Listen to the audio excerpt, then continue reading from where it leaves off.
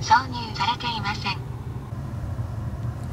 As you can see, we're in a new vehicle, and from the thumbnail, uh, you probably know what it is. This is my new 1994 Land Cruiser Prado. Really cool car, and I'm gonna show you all about it today. Kind of get into depth about it today, but more so just like rundown of like the cool things about it and like what my plans are with it and uh, why I got it and all that kind of stuff. It's right-hand drive from Japan. These Land Cruisers never came left-hand drive. They were never um, made in the States. So uh, it's really cool to just be driving on the right-hand side of the road again after crashing my Skyline. Got this from Speedworks Northwest in Kirkland, Washington. If you guys are interested in, in anything right-hand drive, uh, they can look for it for you, source it for you, and they always have like a super nice selection of cars for you guys. And if you do end up buying anything from them, let them know that I sent you. It like it seems big, but it's really not that big. I don't know if any of you guys have seen these in person, but like from the outside it kind of looks pretty big. But then once you get on the inside, it's like this seat is as far back as it goes right now. And here I am sitting in it and my knees are like all the way up to the whatever this is. Uh, it's automatic, which makes life pretty easy. I know manual cars are really cool, but sometimes it's nice to just cruise around in an old auto. Let's see, what else? It's four-wheel drive, but not always, so you gotta turn on, you gotta lock the hubs or uh, electronically, and then you just shift it into high or low if you're hitting the off-road or whatever. And then it's also got this really cool uh, electronic transmission thingy. So when you turn this on, then when you're shifting through gears, it revs to a higher RPM before it shifts. So you can have it at normal or you can have it power and you can make all the power. I think this motor makes like 180 horsepower from factory. Um, it's probably not making that now. It's pretty old. Um, it's got 378,000 kilometers, which equates to like, I don't know, a rough estimate of 250,000 miles, I would guess. So quite a bit, and um, you wouldn't be able to tell by the interior, which I'll get into in a second, but the ride is pretty worn out, and I'll show you that also in a second. The engine looks super clean, and I'll get into that right now. The uh, motor is a 1KZ diesel motor. It's a 3 liter.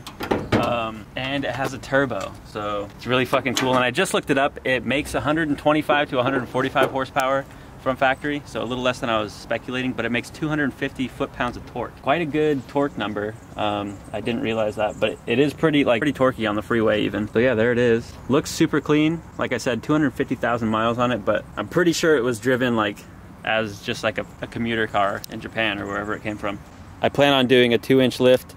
There's a company that makes like a super simple two-inch lift with new shocks, and it really needs new shocks because check this out here.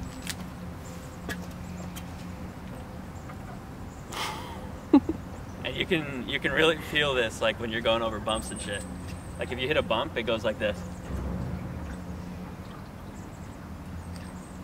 It takes a while to settle down. But that's a super easy fix, and I mean, they're not blown, but they're just really worn out. So it's not like clunky or anything. It just feels like you're in the ocean. So yeah, here's a another view of the outside. It's really fucking sick. This is like something I've really been wanting for a long time. Like I've always been talking about how I really want to get into like four-wheel drive, off-roading and stuff like that. And all my friends are going up and having a blast in the mountains and like camping and stuff. So this is like exactly what I've been wanting for so long. And it's really making me a happy person. So uh, I'm super excited about this. And yeah, just thank you guys for making a lot of things possible in my life like this. Future plans, I want to get a rooftop tent on it so I can sleep in it and like go camping like I was saying. Uh, do the two inch lift, new shocks, probably some new tires. I do like these wheels a lot, but maybe get like an inch and a half spacer to kind of fill the well a little better because it's a bit hovercraft fitment right now. Yeah, so let's get into the inside of the car. This is the back and there is the tire mount for the back door for the spare tire, but it didn't come with one, so um, that's chilling back here. One, two, three, four, five, six, basically six seats, but you could probably fit three people in each row and call it eight seats. Um, but comfortably six seats, well, not comfortably here. These, these seats don't move back or forward. So this is what it looks like with me anyways. Um, I mean, you could move this seat up a little bit, but it's pretty cramped in here. I'll probably just straight up remove these two seats and my buddy Josh is gonna help me build like a little kitchen in here so that when I'm out camping and stuff, I can just open these doors up and have a nice place to like fold out a kitchen bench type deal and fry an egg or whatever. I love how heavy all the doors sound. It's so nice. Like they don't make cars like this anymore.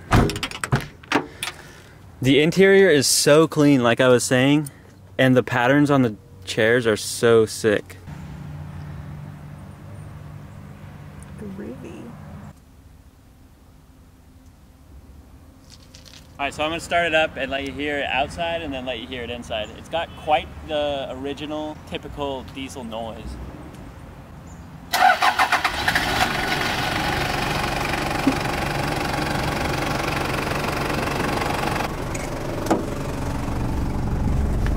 Sounds like a diesel for sure. Sounds like a TDI like Jetta. Um, I'll drive around this little circle for a second. And then maybe we'll hit the speed bumps down there so you can see how bouncy this bitch is. Whenever you take a sharp corner, it feels like we're gonna roll over. It turns all the way to lock, which is something I've never had in a car. All my cars are like rub at full lock. Even my drift cars somehow. Cool, here we are at the speed bump. We'll hit another one. Jesus. But yeah, this is a, this video is more to just show you guys like, yo, I got this sick ass fucking car, and you can expect a lot more of this on the channel. Um, I'm not gonna get too in depth, like I said. I want to do like a, a back roads in it with DJ when I get the uh, the new shocks, because this thing will straight up roll over if we do that right now. Also, this car came with an extra set of tie rods, which it also needs pretty badly. Uh, so that's nice that we can do that soon. Like I was saying before, pretty cool future plans I want to do this car, and uh, it's gonna make it like super extra sick. One of the things I can do almost right away, somebody's jackhammering over there. I'm gonna take these runners off because, I don't know, it kind of gives it like a G-Wagon type look and I'm not about it really. So I'm gonna pull these off. All right, so uh, this is gonna do it for this video. I just wanted a quick, I, I really just wanna show everyone this car because it's so sick and I'm so happy with it. And I'm tired of keeping it a secret even though I've only had it for like one day. This is the video for now, but soon we'll be doing a lot more to this and uh, hopefully taking it out in like, Mud. out mud. out mudding and mountain climbing and shit like that and going rock climbing and snowboarding and all kinds of stuff. Stuff that I've been trying to do for a long time. So very excited. I'm gonna leave you guys with just like a little montage of all the cool little things on the car. And yeah, thank you guys for watching. Um, thank you for supporting us for so long. I really appreciate it. I'm so happy that I have this car and this car now. These are like, I'm, I'm totally set. I don't need another car.